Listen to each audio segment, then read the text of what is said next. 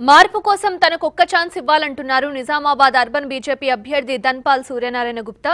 ఎన్నికలకు సమయం దగ్గర పడుతుండటంతో విస్తృతంగా ప్రచారం నిర్వహిస్తున్నారు.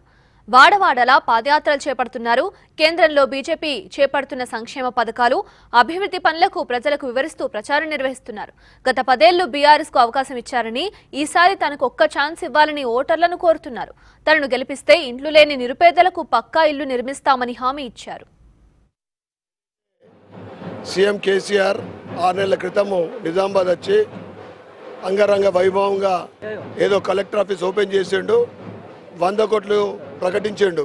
ఈ వంద కోట్లు వచ్చే వారం వస్తాయని చెప్పడం జరిగింది. వాళ్ళందరూ కూడా ప్రజలందరూ కూడా ఎదురు చూస్తూ ఉన్నారు. ముఖ్యంగా డివిజన్కు కోటి రూపాయలు కొబ్బరికాయలు కొట్టుడైతే అయిపోయింది. కోటి అయితే కాకులు ఎత్తుకపోయినా ఇప్పటిదాకా అర్థం కాలేదు. ఎవరికి కూడా అర్థమైతలేదు. వాళ్ళు నిజంగా కోటి రూపాయలు శాంక్షన్ చేసి ఉంటే ఇప్పుడు డివిజన్లోని ప్రతి రోడ్డు డ్రైనేజ్ బాగుండేది. మొన్న నోటిఫికేషన్ ముందు అనేక సంఘాలకు ఇతర గుళ్ళకు ప్రొసీడింగ్ కాపిచ్చారు ఆ ప్రొసీడింగ్ ఆపిస్తే వాళ్ళకి తెలుసు మాకు రెండున్నర లక్షల ఐదు లక్షలది ఐదు రెండున్నర లక్షల పని అవుతుంది కానీ ఇప్పుడు ఉన్న మా చేతిలో ఉన్న ప్రొసీడింగ్ కాపీల పరిస్థితి ఏంటిది? బీఆర్ఎస్ అయితే గెలుస్తలేదు కమలం గెలుస్తుంది అని మాకు ప్రశ్నిస్తూ ఉన్నారు. మీ దగ్గర ఉన్న ఐదు లక్షల proceeding copy Bharatiya Janata Party మీరందరూ కూడా ఆశ్చర్యంతో గెలుస్తూ ఉంది ఇక్కడ. నేను మీ ఎమ్మెల్యేగా గెలుస్తూ ఉన్నా.